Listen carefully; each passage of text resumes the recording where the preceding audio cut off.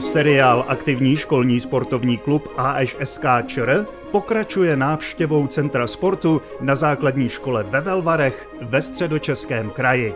Od vedoucí Centra sportu magistry Dáši Hubáčkové jsme přijali pozvání na soutěž v atletickém pětiboji o pohár starostky města Velvar, pořádanou pro druhý stupeň základních škol Sklobuk, Třebíského Kralupy nad Vltavou, Václava Havla Kralupy nad Vltavou a pořádající základní školy Velvary. Dnes eh, se tady na hřišti, na víceúčelovém hřišti ve Velvarech koná třetí ročník lehkoatletických závodů o pohár starostky města Velvary.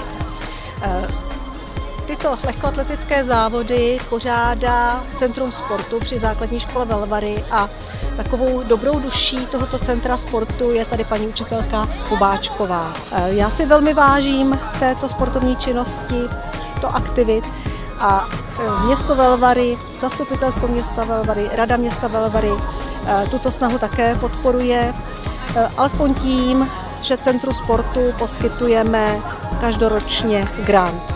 Není to žádná závratná částka, určitě bychom chtěli více, ale v rámci možností, které máme, tak se snažíme alespoň trošku těmto aktivitám přispět. Bych chtěla za všechny děti jenom poděkovat.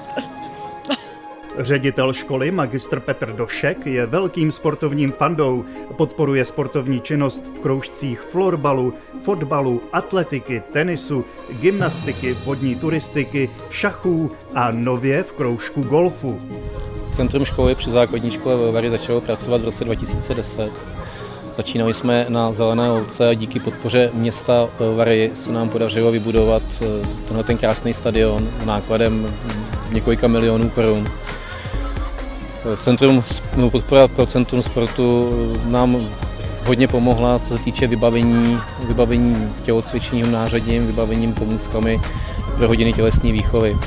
Za největší úspěchy, které jsme získali v posledních letech, tak eh, považujeme určitě eh, naše florbalisty, kteří v loňském roce postoupili ve florbalové lize až do krajského kola Letos jsme florbalovou ligu v Kralupech vyhráli a příští pondělí se setkáme se čtyřmi nejlepšími z Mělníka. Centrum sportu každoročně pořádá pro žáky z blízkých škol několika denní hry třetího tisíciletí v Jesenici u Rakovníka.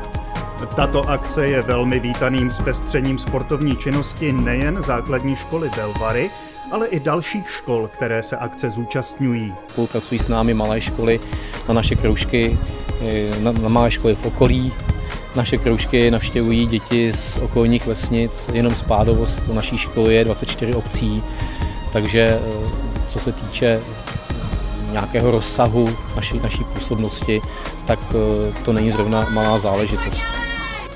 Já jsem ráda, že nejenom tělocvikáři, nejenom učitelé, ale i externisté začínají ve sportovní kroužky a kromě tenisu, florbalu, gymnastika, atletika, pohybové hry, že stále, stále se rozšiřujeme.